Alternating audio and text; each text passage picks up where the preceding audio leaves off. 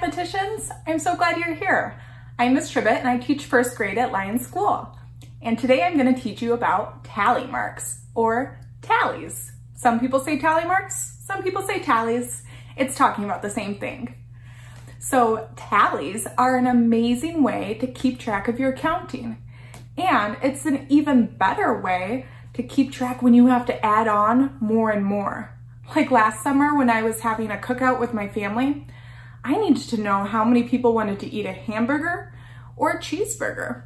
So I went around and asked everyone and I added a tally next to hamburger for everyone that wanted a hamburger and added a tally next to cheeseburger for those cheeseburger lovers. And at the end, I was able to know the total amount of each one that we needed. So let me teach you how to make tallies because there's a special way that you're going to make tally marks using vertical lines. And then there's this really special thing that you do on the fifth tally mark. Let me read you this poem to help you understand. Tally marks. One, two, three, four. Number five shuts the door.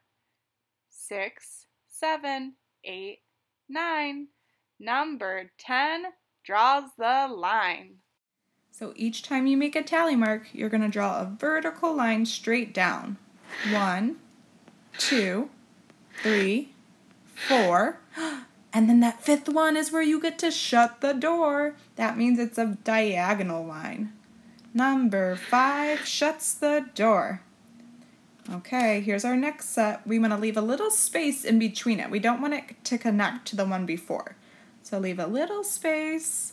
Six, seven, eight, nine. Here comes the diagonal. Number 10 draws the line. Now I also want to show you how we can go back and count these tallies. So here is our first one. We would call that the first tally mark. Here's the second one. That's number two. Here's the third. Number three the fourth, number four, and then this fifth one diagonal tells us that this whole group is a total of five. It's the same thing if we keep counting on here. This would be number six, number seven, number eight. Here's our ninth tally mark. And then number 10 draws the line, telling us this whole next group is five more, which means we have 10. And that's the cool thing about tallies is you can count by fives. Five, ten.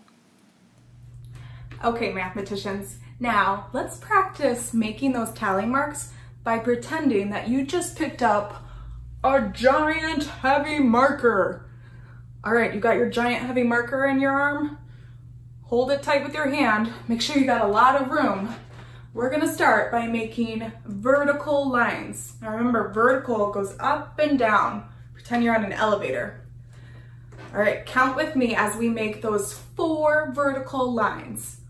One, two, three, four, five.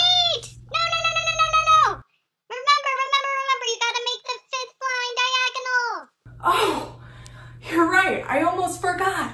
The fifth tally mark shuts the door. It's that diagonal. Did you remember to make the fifth tally mark a diagonal line? Thanks for the reminder. Okay, ready for our next set? Get your big heavy marker. Here we go. Six, seven, eight, nine, Number 10 draws the line. That was awesome. You're gonna keep practicing making your tally marks. Have fun.